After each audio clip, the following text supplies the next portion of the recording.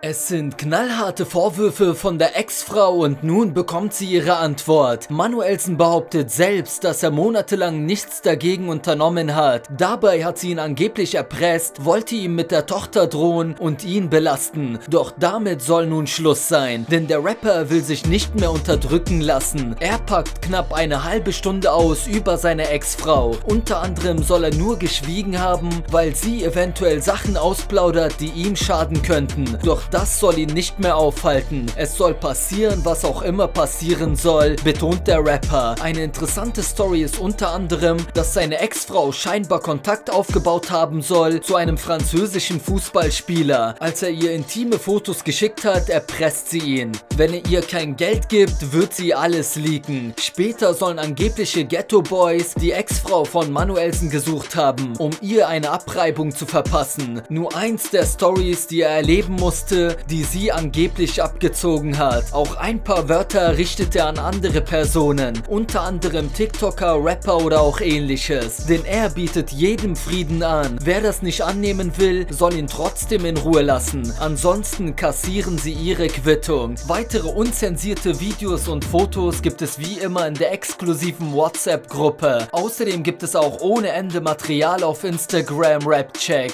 Schaut da vorbei und viel Spaß. So, wenn ich euch sagen würde, wenn ich euch sagen würde, was die Mutter und die Schwester abgezogen haben, bei Allah, bei Allah, bei Allah, ihr werdet das nicht glauben, weil sowas macht kein Mensch. Sowas macht kein Mensch. Sowas macht einfach kein Mensch. Ganz einfach. Sowas macht kein Mensch.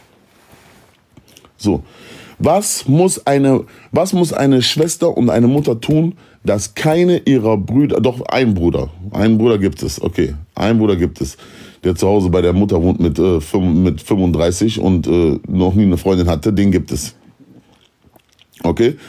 Das ist der Einzige, der noch da redet. Okay? Ansonsten, alle anderen haben sich distanziert. Haben sich distanziert. Ganz einfach. Und was muss eine Mutter und eine Schwester getan haben, ne, damit Söhne keinen Kontakt zu ihrer, Mutter haben, zu ihrer Mutter haben wollen? Okay? Mehr will ich dazu nicht sagen. Mehr will ich dazu nicht sagen.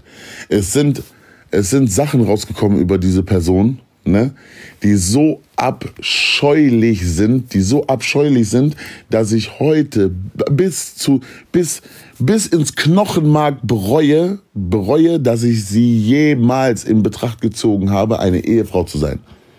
Okay? Es sind Sachen über sie rausgekommen, die sind die Hölle. Gut, mich interessiert es nicht mehr. Ich habe mit der, ich habe mit der Frau nichts zu tun. Die kann froh sein, die kann, die kann froh sein, dass, äh, dass sie die, die Mutter von meiner Tochter ist. Das ist das, das ist das Einzige, was sie irgendwie relevant hält.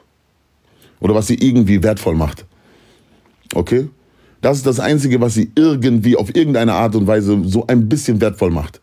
Okay? Ansonsten, Wallah billah, kein Mensch, kein Mensch wird sich dahin drehen, wo die läuft. Kein Mensch. So. Ihr, ihr, ihr möchte gern, ihr möchte gern Getue auf, ja, ich bin so, ich bin so, äh, ich bin so, äh, wie heißt es? Ich finde mich selbst und eine starke Frau muss das tun und ja, ich bin hier in meinem äh, Healing Process, ja, und ich möchte mich hier, äh, ich möchte mein inneres Selbst entwickeln und ich rede immer so ganz ruhig und ganz leise. Das ist die größte Show, die es gibt. Einmal, einmal ruft mich ein alter Kollege an.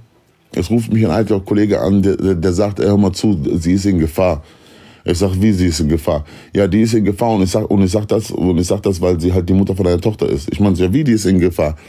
Ich meine so, es sind Franzosen, jetzt hört euch die Geschichte an, es sind Franzosen unterwegs nach Mülheim, die wollen die lang machen. Ich sag, wie lang machen?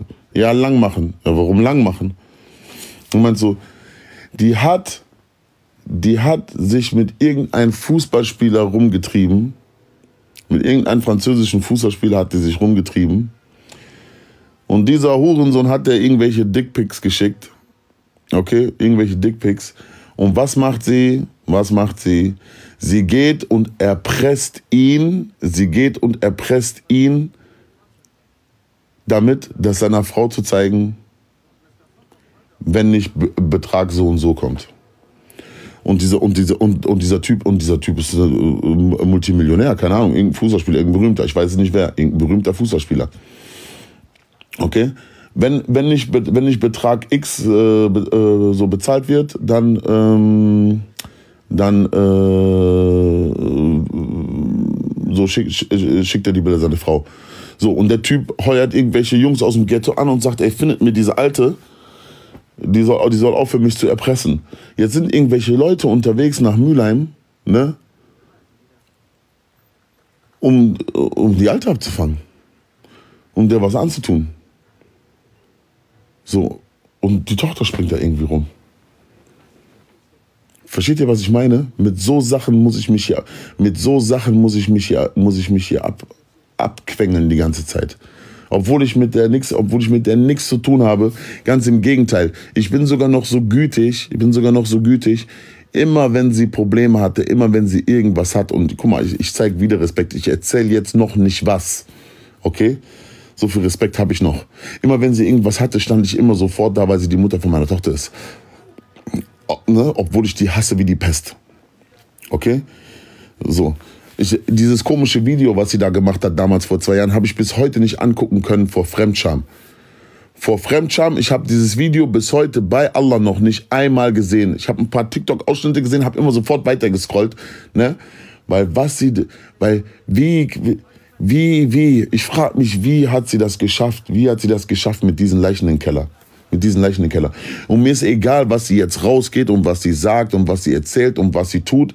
Ich schwöre bei Gott, ich schwöre bei Gott, wenn sie, wenn sie nicht aufhört, wenn sie nicht aufhört, im Internet so, so suggerieren zu lassen, dass ich angeblich ja so ein schlechter Mensch und so ein schlechter Vater bin, ich schwöre bei Gott, ich werde alles erzählen, alles erzählen, mir egal, mir egal, wie hoch die Anklage ist und mir egal, wie hoch sonst etwas ist und mir egal, wie egal, was sie macht und was sie tut. Ich werde alles erzählen, ich werde alles über diese ganze verrottete Familie auspacken, außer der älteste Bruder. Außer der älteste Bruder. Ich werde alles über diese verrottete Familie auspacken, ne? Weil Wallah billah, das, was die Mutter und was die machen, ist Dolum. Wallah billah, Unterdrückung ist das, Unterdrückung.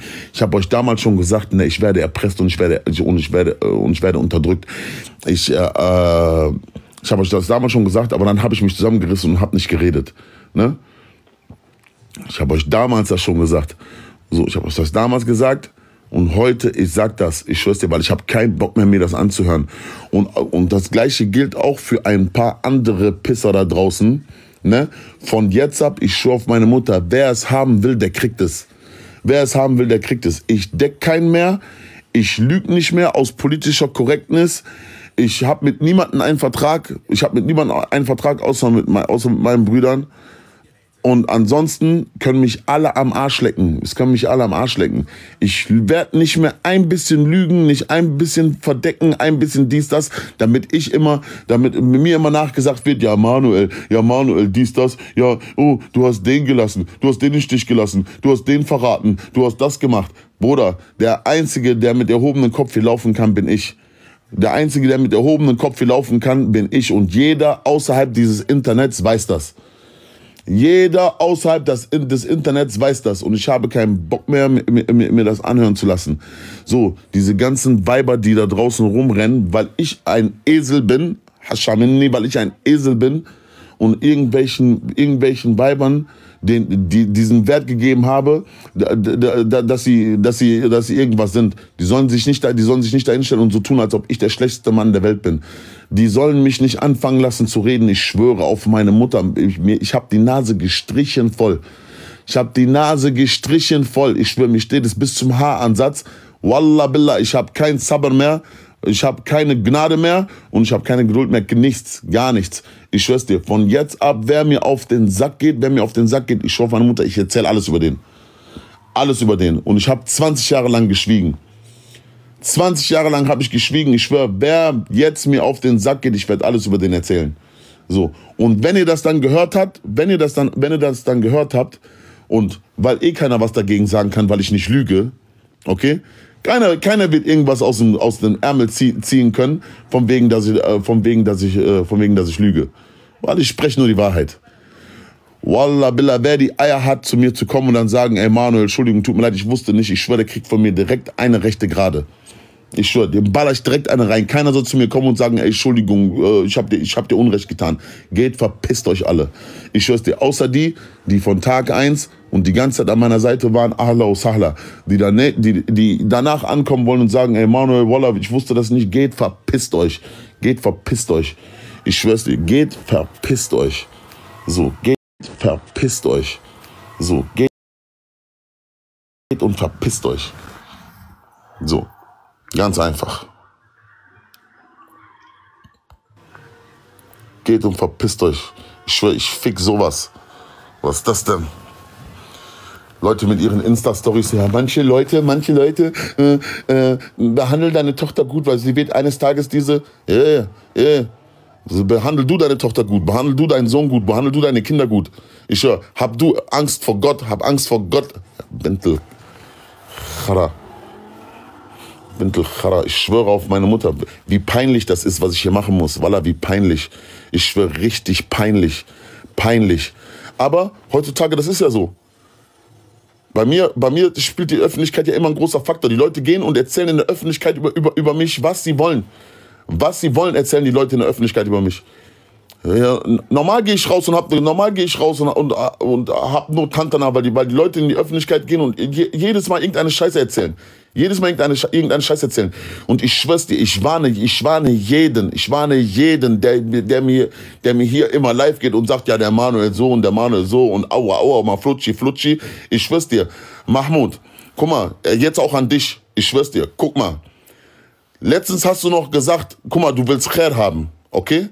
Ich mach das Wort von unserem, von unserem großen Bruder, ich mach das Wort nicht kaputt. Lass mich nicht den Namen sagen hier. Ich, ich mach das Wort von unserem großen Bruder nicht kaputt, mit dem wir beide am Telefon waren und gesagt haben, Carlos, man, jetzt bis Khair. Okay? Wenn du, wenn du Khair willst, okay, Habibi, kein Problem, Khair, Khair. Du hast deine Straße gemacht, flutschi, flutschi, aua, aua, Manuel ist schwanger und dies und das und aua, aua. Kein Problem, vergessen wir alles. Vergessen wir alles. Wallah, wallah, wallah, wallah, wallah, bitte lass mich in Ruhe. Bitte lass mich in Ruhe. Lass uns bitte nicht hier streiten. Ich hoffe meine Mutter, weil ich werde das nicht, ich werde das nicht mehr hinnehmen. Bruder, ich bin ein erwachsener Mann, Bruder. Ich bin 45 Jahre alt. Das, was du machst, ist Eib. Wallah ist Eib. Guck mal, Kerman, dein Bruder, Kerman, dein Vater, Allah Yerhamu, wir haben uns mit dir nicht gestritten und wir wollen mit dir keinen Streit. Du bist einer von, du bist einer von hier. Und du hast jetzt dein TikTok Spaß gemacht, lang genug auf, lang genug auf meine Nerven. Ich habe nichts gesagt, ich habe nichts gesagt. Okay? Jetzt reicht es. Es reicht, hör auf damit. Hör auf damit. So, ich will keinen Streit, wenn du Khair willst, khalas Khair. Von, von jetzt ab, mach dein, mach dein Internet, mach dein Internet äh, äh, Sachen, mach mit dem du willst, nur lass mich in Ruhe. Lass mich in Ruhe, Bruder. Ich bin 45 Jahre alt, Bruder. So. Ich bin 45 Jahre alt, hör auf damit. So, das sage ich dir auch. So. Und ich sage es auch jeden, ich sag es auch jeden anderen. Hamid Khan, fang, fang du auch erst gar nicht an.